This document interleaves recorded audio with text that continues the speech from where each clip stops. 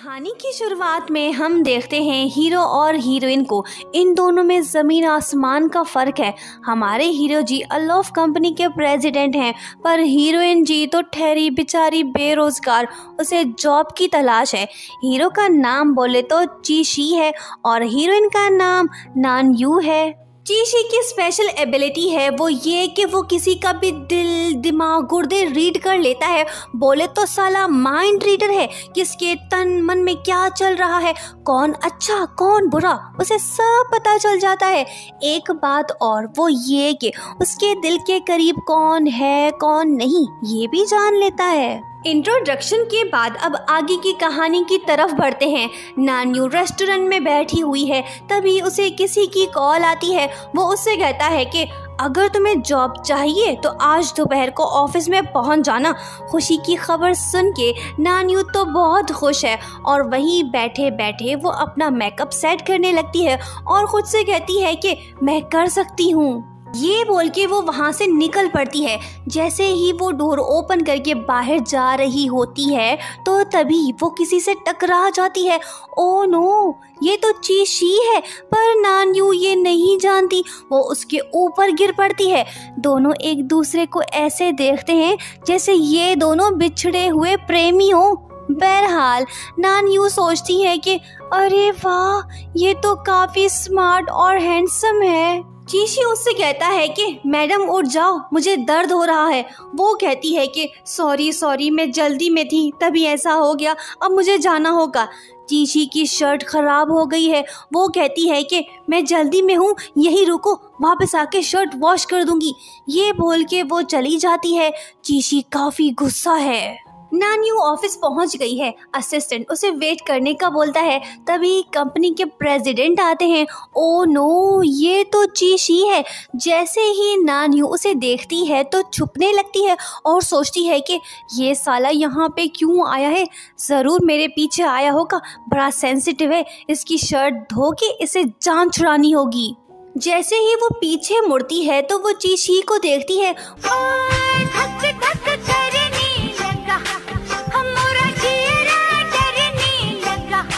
उससे कहता है कि तुम यहाँ कैसे? तभी असिस्टेंट आके नान्यू से कहता है कि इंटरव्यू रूम में जाओ। ये सुन के वो चीशी से कहती है कि, इधर ही रुको, मैं इंटरव्यू दे के आती हूँ। ये बोल के वो चली जाती है। बिलाखिर नानियो को पता चल गया है कि चीशी यहाँ का प्रेसिडेंट है। ये बात जान के वो बड़ी नर्वस सी हो गई है। नानियो जैसे तैसे करके अपना इंट्रोडक्शन कराती है। चीशी उससे पूछता है कि, तुमने हमारी कंपनी को ही क्यों चूज़ किया? वो उससे कहती है कि आपकी कंपनी को मेरी ज़रूरत होगी, पर मुझे आपकी कंपनी की कोई ज़रूरत नहीं। ये एटीट्यूड देख के चीशी उससे कहता है कि तुम कब से ज्वाइन करोगी? ये बात सुन के नानी सरप्राइज़ होती है और पूछती है कि क्या वाकई में पास हो गई? वो कहता है कि हाँ नान्यू थैंक्स बोल के वहाँ से भाग निकलती है, क्योंकि कहीं ये अपना डिसीज़न चेंज ना कर दे। जॉब तो मिल गई, अब रहने का बंदोबस्त करना होगा। पर नानियों की सैलरी इतनी नहीं कि वो हाउस रेंट पे ले, उसे शेयरिंग अपार्टमेंट में रहना पड़ेगा। वो जाती है अपार्टमेंट देखने। घर तो अच्छा है, पर नानियों ये अफोर्ड नहीं कर सकती। उसे किसी के साथ रहना होगा। तभी चीशी भी वहीं पे आता है। नानियों उससे कहती है कि, तुम यहाँ पे एजेंट चूचू मूचू कहता है कि अगर मिस्टर जी अकेले रहना चाहते हैं तो मैं तुम्हें दूसरा घर दिखाऊँगा। ये बात सुन के वो कहता है कि इसकी ज़रूरत नहीं, मैं अपार्टमेंट शेयर करने के लिए तैयार हूँ। नानियो बताओ, तुम क्या चाहती हो? वो कहती है कि, सर जी आप मुझसे पूछ रहे हैं? वो कहता है कि हाँ घर ऑफ़िस के करीब है, आने जाने में आसानी होगी। एजेंट कहता है कि, जब आप दोनों राज़ी तो मुझे क्या एतराज़ मैं पेपर्स लेके आता हूँ। नानियों तो बड़ी हैरान है, पर बात कुछ और है।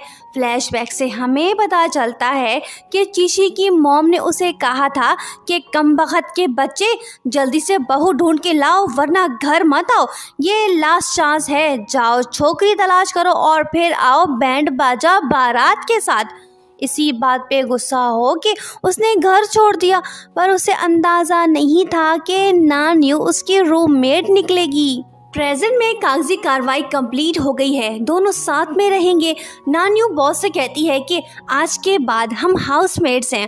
वो सोचता है कि मैं तुम्हारे दिल की बात सुन रहा हूँ। उसके बाद नान्यू अपनी फ्रेंड्स को फ़ोन करके बताती है कि मेरा बॉस मेरा रूममेट है, वो अजीब सा है तो मुझसे मिलोगी तो जान जाओगी, बड़ा ही पत्थर दिल है, हर वक्त टेंशन में रहता है।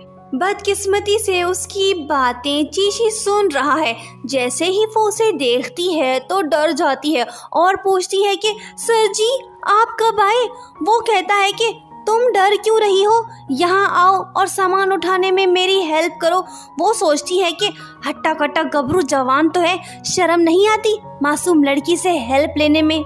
नेक्स्ट मॉर्निंग जैसे ही नानी नींद से उठती है तो बाथरूम की तरफ़ भागती है। जैसे ही वो डोर ओपन करती है तो वहाँ पे वो चीशी को देखती है, जो कि नहाने में मसरूफ है। ये नज़ारा देख के नानी सोच में पड़ जाती है। वो उससे कहता है कि अगर सब देख लिया तो दफ़ा हो जाओ। ये सुन के वो शर्मिंदा होती है और सॉरी बोल के वहाँ से भाग निकलती है। नानियों और चीशी एक साथ बैठ के लंच कर रहे हैं। भाई साहब, बहुत ही खतरनाक रोमांटिक सीन है। पहले ही दिन काम तमाम हो गया। नानियो सोचती है कि ये साला आखिर चाहता क्या है? नहीं नहीं, मैं इस साइको के प्यार में नहीं पड़ूँगी। वो कहता है कि कम खाया करो, तुम्हारी सेहत के लिए अच्छा है। नानियों फिर से सोचती है कि अच्छा ठीक है, अब ये साला मुझे बोलेगा कि कल अच्छे और साफ़ सुथरे शॉर्ट कपड़े पहन के आना ऑफ़िस।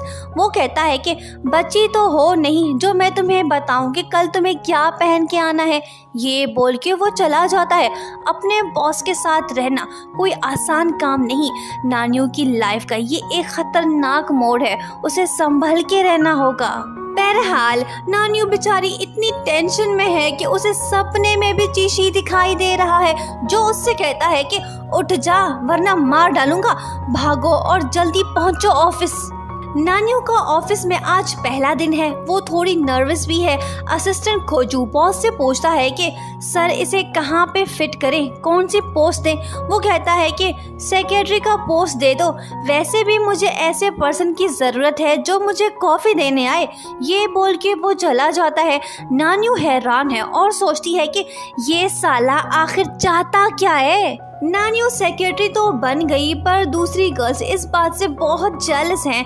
लोगों का क्या? वो तो बातें करेंगे। हंसो, मुस्कुराओ और मस्त लाइफ जियो। बहरहाल, नानियो बॉस को कुछ बताना चाहती है। जब वो उसके पास जाने लगती है तो वो उससे पूछता है कि क्या काम है? वो कहती है कि कुछ नहीं, बस विंडो को साफ़ करने आई थी। ये सुन के चीशी बटन प्रेस करके विंडो को ब्लर कर देता है। बताने की कोशिश नाकाम हुई। शाम को जब घर पे चीशी ऑनलाइन वीडियो कॉन्फ्रेंस कर रहा होता है तो तभी नान्यू उसके पास से गुजरती है, जिसके बाद वो कहता है कि, कोई बात नहीं गाइस ये मेरी नौकरानी थी। नान्यू गुस्सा है, वो रिवेंज लेना चाहती है। इसी वजह से वो अरबिक ड्रेस पहन के हॉल में आके नाचने लगती है, ताकि वीडियो कॉन्फ्रेंस वाले उसे देख सकें और चीशी शेम फील करे। जी भर के नाचने के बाद वो उससे कहता है कि, मैडम, वीडियो कॉल तो कब का एंड हो गया है? ये जलवा तुम किसको दिखा रही हो? हो गई ना इंसल्ट सुबह जब चीशी किचन में आलू पराठा बना रहा होता है तो तभी नान्यू उसकी तरफ़ प्यार से देखने लगती है। वाह, क्या बात है! दोनों को प्यार हो गया है। शादी भी कर ली, बस बच्चों के आने की देर है।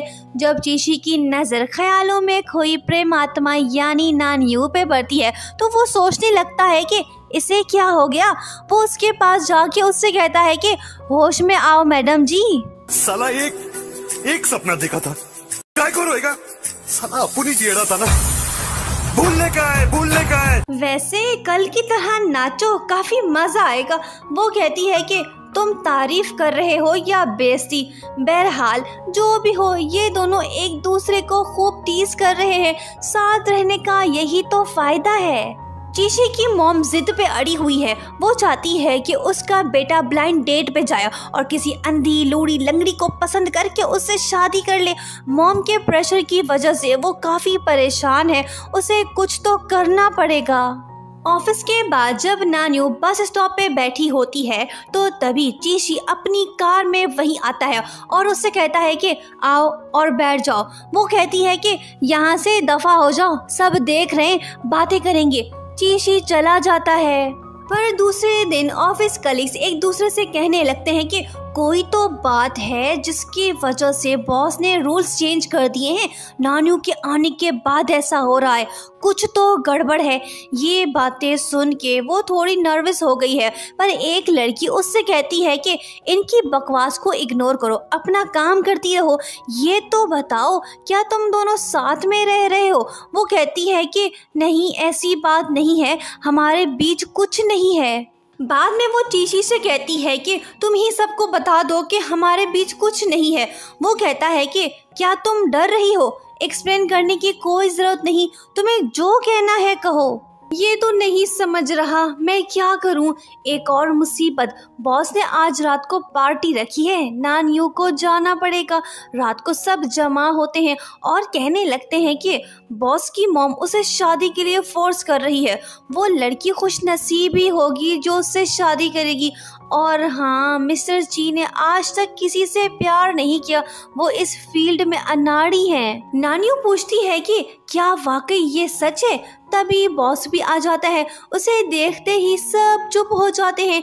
नानियो उसे इशारा करके बोलती है कि अपनी जबान बंद रखना, वरना रात को जहर दे दूँगी। पार्टी तो एंड हो गई। अब घर जाने का टाइम है। पर ये क्या? चीशी अपनी कार लेके आ गया है। और वो नानियू से कहता है कि, आओ, बैठ जाओ। ये तो गड़बड़ हो गई। नानियू छुपने लगती है और कहती है कि इसने ज़्यादा पी लिया, इसका दिमाग ठिकाने पे नहीं है। चीशी उसे मैसेज करके कहता है कि, आती हो या सबको बता दूँ, ये साला नहीं सुधरेगा, जाना होगा। ना जाते हुए भी वो कार में बैठती है, इसी बात पे वो नाराज़ भी है।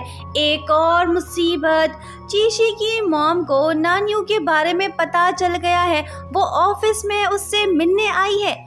मोम दाएँ बाएँ ऊपर नीचे ऐसे देख रही है जैसे ये लड़की नहीं, कोई रोबोट हो। मोम नान यूज़ से पूछती है कि, क्या तुम दोनों साथ में रह रहे हो? ओ अच्छा तुम ये जानना चाहती हो कि मैं कौन हूँ? दरअसल मैं उस शादी चोर की मोम हूँ। नानियो उसे आंटी जी कहती है, पर वो उससे कहती है कि, मुझे मॉम कहो, आंटी नहीं।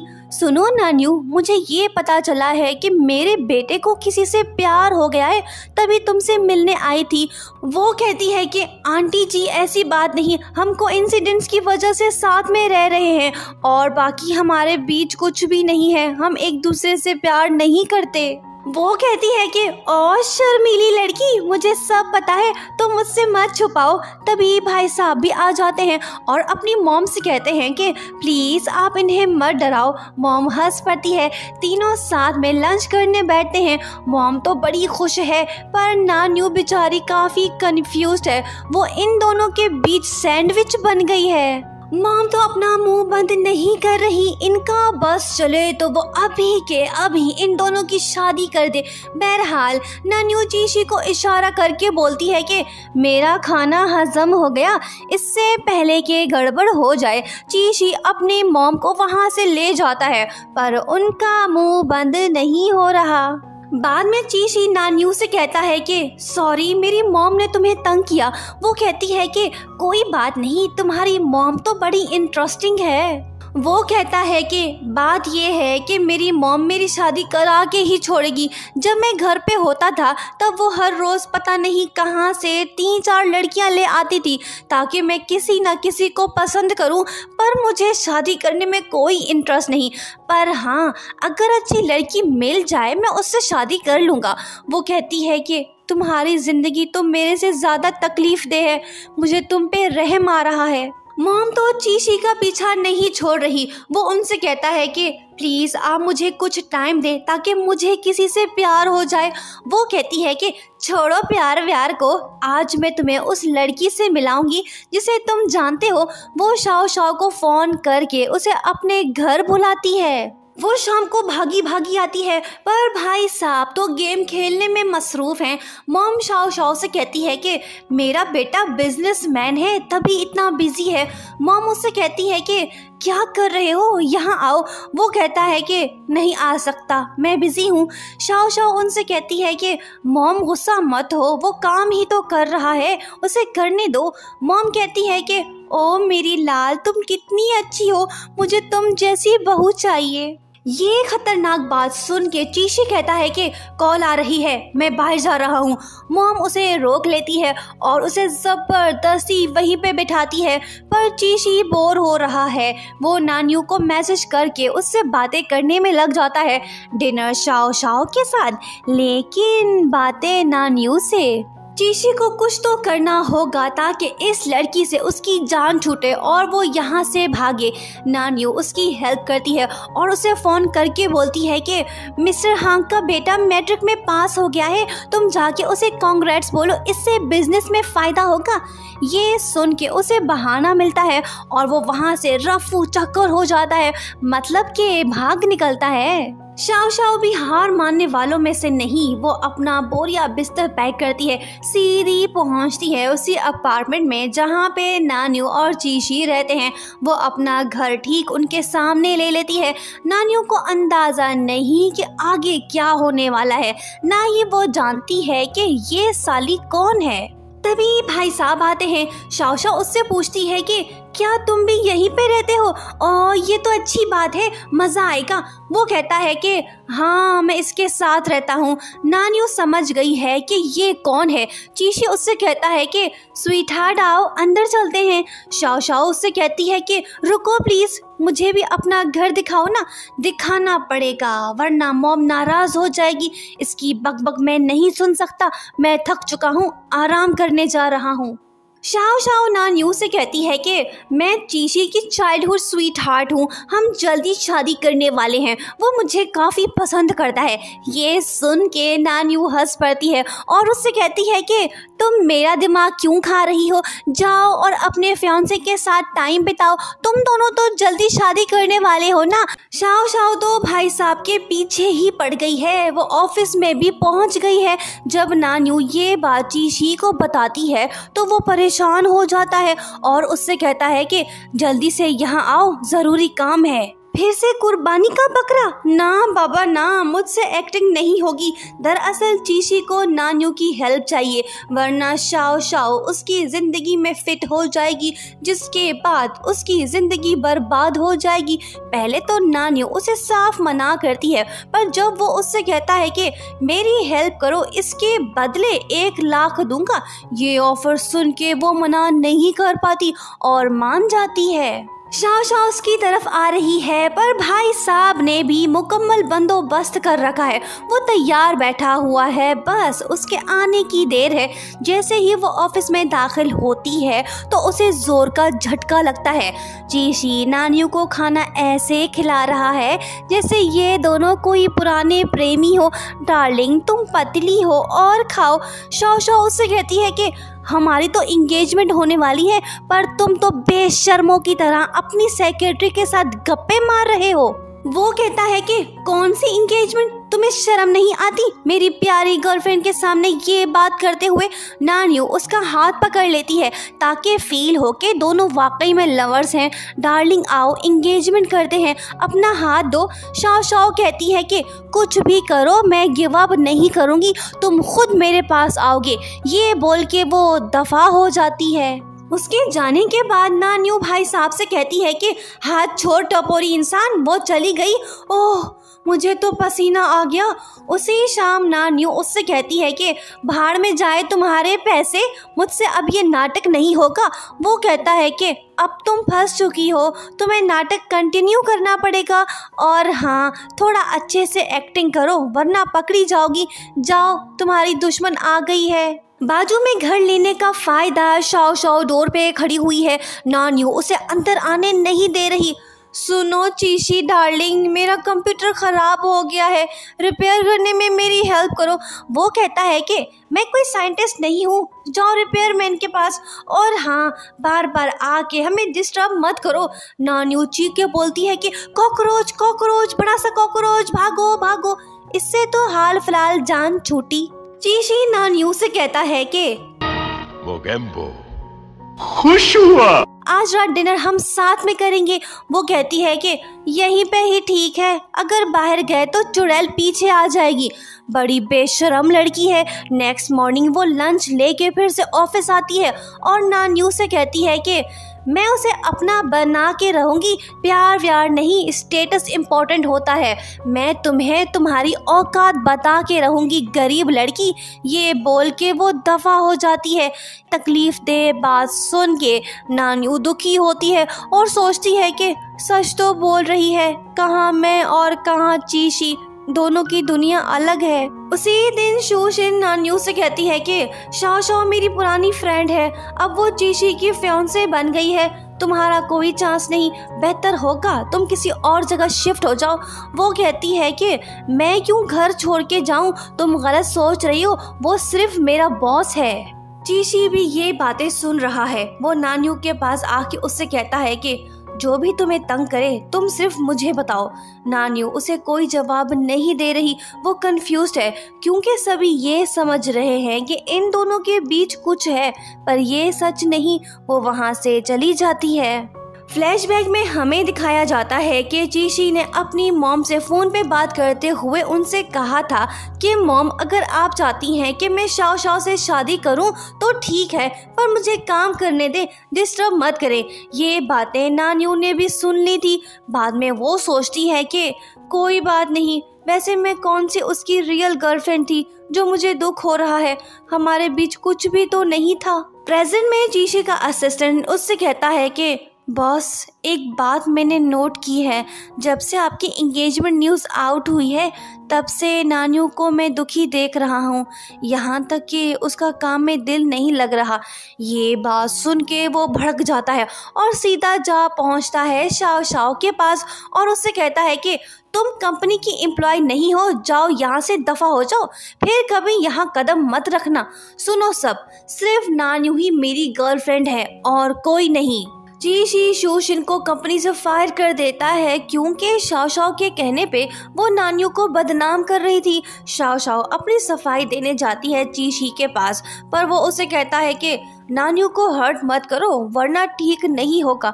वो मेरी गर्लफ्रेंड है तो मेरे लिए कुछ नहीं हो। इसकी ये कोशिश भी नाकाम हुई। चल भाग।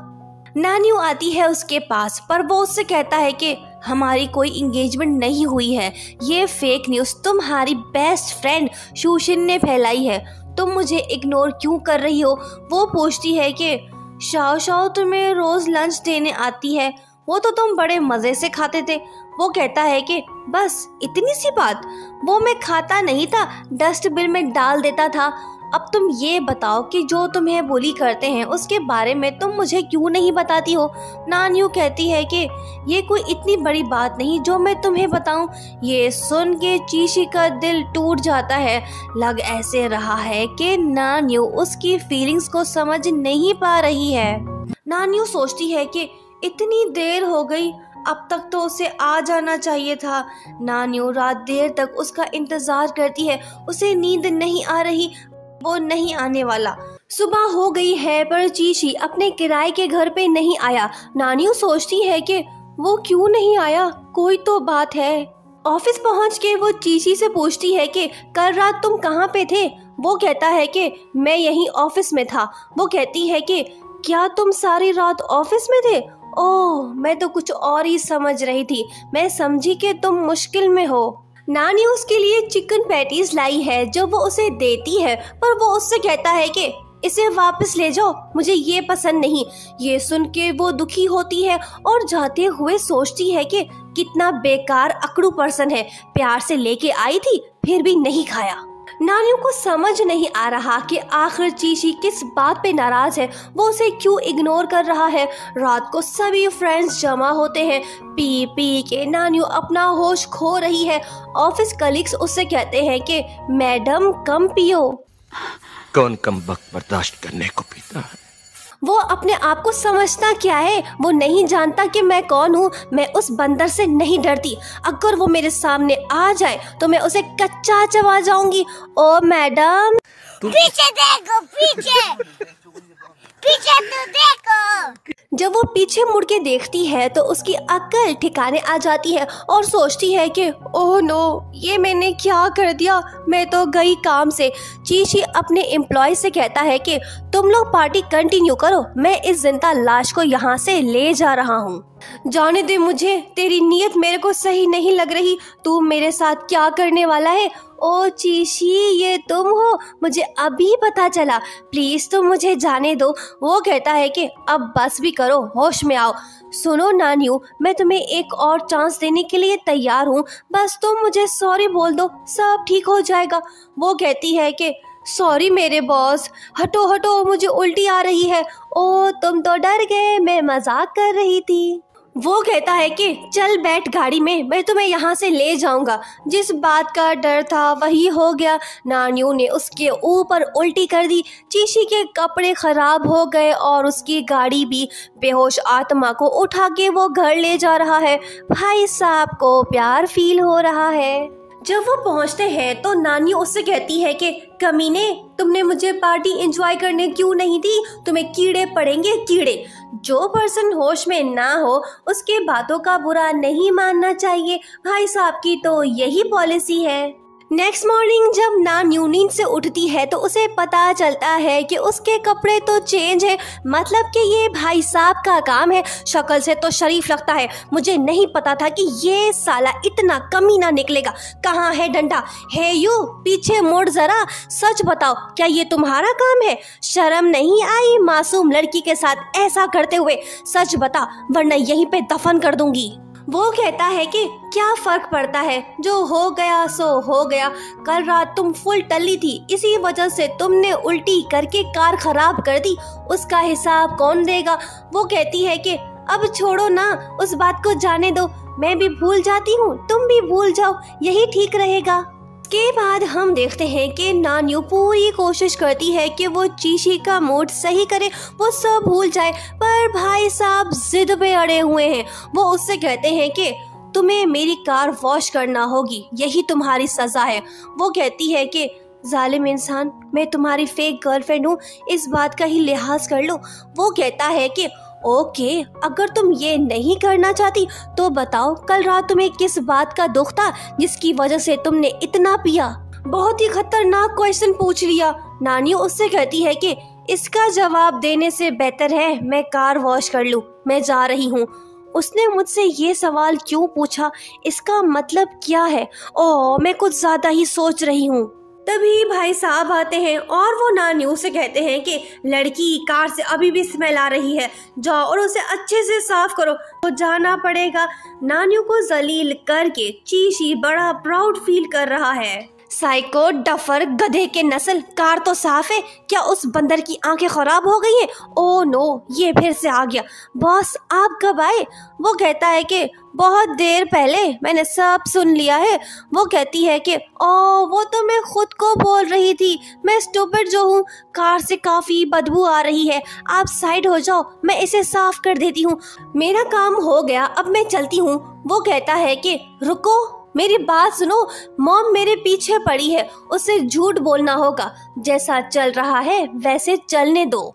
उसकी पूरी बात सुन के नानी उससे कहती है कि, बड़े अच्छे एक्टर हो, झूठ सफ़ाई से बोल लेते हो। तुम्हारी मॉम नहीं जानती कि हमारा रिलेशनशिप फेक है। तुम ये सब शाव शाव से जान छुड़ाने के लिए कर रहे हो ना? ओ नो शूशिन इन दोनों की बातों को सुन रही है और रिकॉर्ड भी कर रही है। ये लड़की अब बहुत कुछ करने वाली है। वो वीडियो क्लिप को वायरल कर देती है। असिस्टेंट ना न्यू को इस बारे में बताता है। वीडियो देखने के बाद वो दुखी होती है। जब ये बात चीशी को पता चलती है तो वो फ़ौरन नान यू के पास आता है और उससे कहता है कि रो मत, मैं आ गया हूँ। वो नानियों का हाथ पकड़ के उसे वहाँ से ले जाता है और घर पहुँच के उससे कहता है कि, इसमें तुम्हारी कोई गलती नहीं। मैंने ही ये सब करने को कहा था। परेशान मत हो। मैं मॉम को एक्सप्लेन करूँगा। तभी मॉम की कॉल आ जाती है। वो बहुत गुस्सा है और ऑफ़िस आ रही है। चीशी नान्यू से कहता है कि अभी मुझे जाना होगा। अगर मॉम से नहीं मिला तो वो हमें फिर से परेशान करेगी। तुम मेरा वेट करो, मैं जल्द ही वापस आ जाऊँगा। ये बोल के वो चला जाता है। नान्यू और भी ज़्यादा परेशान होती है और काफ़ी सोचने के बाद वो डिसाइड करती है कि वो चीशी की लाइफ से दूर चली जाएगी, फिर कभी उससे नहीं मिलेगी। ये तो अच्छा नहीं हुआ। चीशी के जाने के बाद शाओ शाओ नान्यू से मिलने आती है और उससे कहती है कि, मुझे तो पहले से शक था कि तुम उसकी फेक गर्लफ्रेंड हो। शाओ शाओ नान्यू को बहुत कुछ सुनाती है, पर वो उससे कहती है कि, तुम इस दुनिया में अकेली नहीं जो चीशी से प्यार करती हो। तुम जैसा समझो, मुझे कोई फ़र्क नहीं पड़ता। यहाँ से दफ़ा हो जाओ। दूसरी तरफ़ चीशी अपनी मॉम को समझाते हुए कहता है कि, मॉम, शाओ शाओ, मेरे टाइप की नहीं है। आप इस बात को भूल जाएँ और हमें परेशान मत करें। अभी मुझे जाना होगा। नान्यू, मेरा वेट कर रही होगी। मॉम, उसकी फीलिंग्स को समझ गई है। उसे इस बात की खुशी है कि उसके बेटे को प्यार हो गया। लड़की कोई भी हो, उसे तो बहू चाहिए, बहू। दूसरी तरफ़ असिस्टेंट नानियों को मैसेज करके एडवाइस देता है कि, तुम दो तीन दिन तक कंपनी मत आओ। यहाँ हर किसी का मुँह खुला हुआ है। इनकी बातें सुन के तुम्हें दुख होगा। नानियो सोचती है कि मैं भी कितनी बेवकूफ़ हूँ, कुछ ज़्यादा ही सोच रही हूँ। मैं भला तुम्हें कैसे लाइक कर सकती हूँ? जब शीशी नानियों के पास आ रहा होता है कि तभी शाओ शाओ उसके रास्ते में आ जाती है और उसे अपनी फीलिंग्स बताती है, पर वो उससे कहता है कि, चाहे कुछ भी करो, मेरे दिल में तुम्हारे लिए कोई जगह नहीं। जब वो घर पहुँचता है तो वहाँ पे उसे एक नोट मिलता है। ये नान्यू ने लिखा है चीशी मैं यहाँ से जा रही हूँ। थैंक्स जो तुमने मेरा इतना ख्याल रखा। ये पढ़ के वो काफ़ी दुखी होता है। जिस बात का उसे डर था, वही हुआ। नानियों के जाने के बाद चीशी बदल गया है। वो अपने एम्प्लॉयज़ पे बिला वजह गुस्सा है। उसकी कंपनी अच्छा परफॉर्म नहीं कर पा रही है। असिस्टेंट नानियों को मैसेज करके कहता है कि प्लीज़ कॉल रिसीव करो। जब वो कॉल उठाती है तो वो उसे बताता है कि, बॉस को पता नहीं क्या हो गया है। वो हर बात पे गुस्सा होते हैं। अगर ऐसे ही चलता रहा तो उनकी पोजीशन खतरे में पड़ जाएगी। प्लीज़ तुम वापस आ जाओ और हम सबको बचाओ। वो कहती है कि, मैं अपने होम टाउन में हूँ नहीं आ सकती। तभी चीशी आ जाता है और वो अपने असिस्टेंट से कहता है कि, मुझे पता है कि तुम किससे बात कर रहे थे। मुझे उसकी लोकेशन मैसेज करो। मैं उसके पास जा रहा हूँ। फिर क्या? वो कार में बैठ के निकल पड़ता है। चीशी जान चुका है कि वो सिर्फ़ नान्यू से ही प्यार करता है। दूसरी तरफ़ नान्यू का भी यही हाल है। उसके बाद हम देखते हैं कि चीशी एक जगह खड़ा हुआ है। नान्यू उसके पास से गुजरती है। जब वो आगे जा रही होती है तो चीशी उससे कहता है कि, रुको नानियो, दोनों की नज़रें जब एक दूसरे पे पड़ती हैं तो वक्त ठहर सा जाता है। चीशी उससे कहता है कि, मैं फिर कभी तुम्हें जाने नहीं दूँगा। फाइनली दोनों मिल गए हैं। वो कहती है कि, पहले तुम बोलो। वो कहता है कि, नहीं, पहले तुम। नानी उससे पूछती है कि, तुम यहाँ क्यों आए?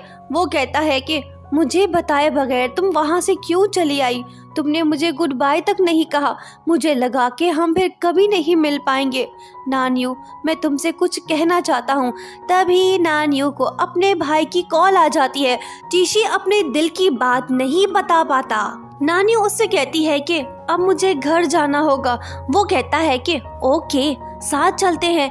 जब दोनों वहाँ पहुँचते हैं तो वो उससे कहता है कि, क्या तुम मुझे चाय नहीं पिलाओगी? वो कहती है कि नहीं, यहाँ का माहौल अलग है। वो कहता है कि, ओके, मुझे तुमसे कुछ पूछना है। सच बताओ, क्या तुम मुझे लाइक करती हो? ये सुन के नानी शर्मा के कहती है कि of course I don't like you ये सुन के चीशी की हँसी छूट जाती है। नानियो अपने घर चली जाती है। उसकी खुशी का कोई ठिकाना नहीं। वो बिलीव नहीं कर पा रही कि चीशी उससे प्यार करता है। नेक्स्ट डे चीशी उसके घर आता है। अच्छी बात यह है कि इन दोनों की लव स्टोरी आगे बढ़ रही है और प्यार भी बढ़ता जा रहा है। फाइनली चीशी को याद आता है कि उसकी एक कंपनी भी है, उसे वहाँ जाना पड़ेगा। फिर क्या, दोनों एक दूसरे से फिर से जुदा होते हैं, पर इन दोनों के पास मोबाइल तो है। सारी रात जाके वो एक दूसरे से खूब बातें कर रहे हैं। नेक्स्ट डे नानियों को चीशी की मॉम की कॉल आती है। वो उससे पूछती है कि, क्या तुम मेरे बेटे को लाइक करते हो? वो कहती है कि हाँ आंटी जी, मॉम मान गई। नानियो भी खुश है। एक दिन असिस्टेंट नानियों को फ़ोन करके बोलता है कि, जल्दी से यहाँ आओ टीशी के साथ कुछ बुरा हुआ है। वो पूछती है कि, क्या हुआ है बताओ? वो कहता है कि, तुम खुद आके देख लो। ये शॉकिंग बात सुन के नानियों की जान निकल जाती है और वो टैक्सी पकड़ के फ़ौरन वहाँ से निकल पड़ती है। वो काफ़ी परेशान है। उसे ये बात डरा रही है कि कहीं चीशी को कुछ हुआ तो नहीं होगा। छह घंटे सफ़र करने के बाद वो पहुँचती है उसके घर। पर ये क्या? भाई साहब तो बिल्कुल ठीक ठाक है। स्टूपिड, गधे, सरप्राइज़ खोर, अगर लड़की को कुछ हो जाता, फिर क्या करते? नानियों उससे कहती है कि, ये मज़ाक फिर से मत करना। लॉन्ग स्टोरी शॉर्ट भाई साहब और मैम साहिब की लव स्टोरी हुई complete thank you so much for watching